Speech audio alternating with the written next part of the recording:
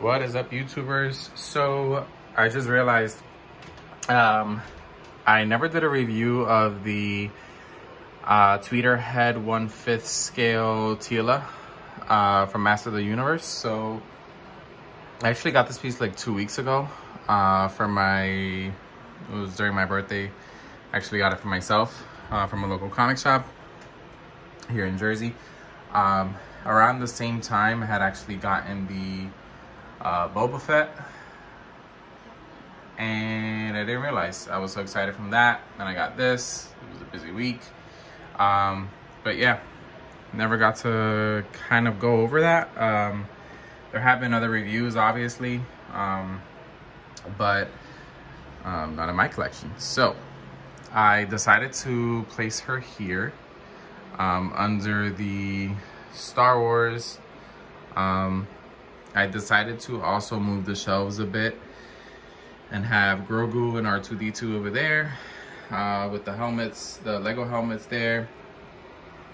Oh, I also got Hunter. Sorry, I'm all over the place. Um, but as you can see here, we have Teela. She is awesome. Saw her at the comic shop. I've seen her for quite some time there. Um, her, her and Hordak, excuse me, her and Hordak. Um, Hordak I do plan to also get. Um, and place him here next to Teela. But yeah, ever since I saw this piece, I mean, I've always been a fan of Masters of the Universe, but never actually thought of getting the statues um, until I realized that they continued the Sideshow 1 5th um, line. So, you know, they have the He-Man, they have She-Ra, they have Evil-Lyn, they have Skeletor. Um, obviously, I don't have the room for all of that, but uh, my local comic shop did have Teela and they have Hordak. So I picked up Teela and I figured, you know what, I'm gonna get Hordak as well. Maybe one day I can get the Skeletor or He-Man. I feel, I feel like that'll be, um, you know, a great, I believe I could fit three there. I would be able to fit Teela there, Teela in the middle, He-Man, um, and Hordak. Or I'd have to rearrange it, but I don't know. We'll see, but one thing at a time, right? So we're here to talk about Teela. Beautiful, beautiful face uh, portrait done beautifully. Uh, this is the alternate portrait with the ponytail. The portrait it came with is the, right here, short hair version. Both are same portrait, uh, just different hair. But I do prefer this one. Beautiful statue.